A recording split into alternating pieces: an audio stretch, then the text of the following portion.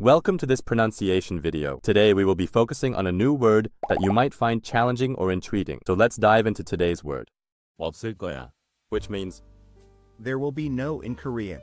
let's say it all together. 없을 거야. 없을 거야. 없을 거야. One more time. 없을 거야. 없을 거야.